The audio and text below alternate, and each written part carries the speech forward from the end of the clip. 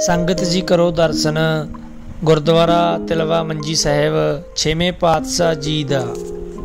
ਇਹ ਗੁਰਦੁਆਰਾ ਲਾਹੌਰ ਜ਼ਿਲ੍ਹੇ ਦੇ ਬਰਕੀ ਕਸਬੇ ਵਿੱਚ ਸਥਿਤ ਹੈ। ਇਸ ਸਥਾਨ ਤੇ ਛੇਵੇਂ ਪਾਤਸ਼ਾਹ ਧੰਨ ਸ਼੍ਰੀ ਹਰਗੋਬਿੰਦ ਸਾਹਿਬ ਜੀ ਕਈ ਪਿੰਡਾਂ ਦਾ ਦੌਰਾ ਕਰਦੇ ਹੋਏ ਪਹੁੰਚੇ ਸਨ।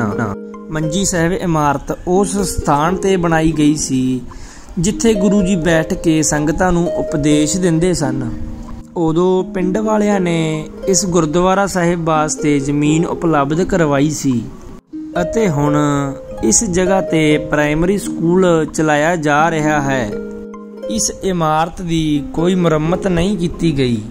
ਗੁਰਦੁਆਰਾ ਸਾਹਿਬ ਦੀ ਇਮਾਰਤ ਉਜਾੜ ਅਤੇ ਢਾਹ ਟੈਰੀ ਹੁੰਦੀ ਜਾ ਰਹੀ ਹੈ।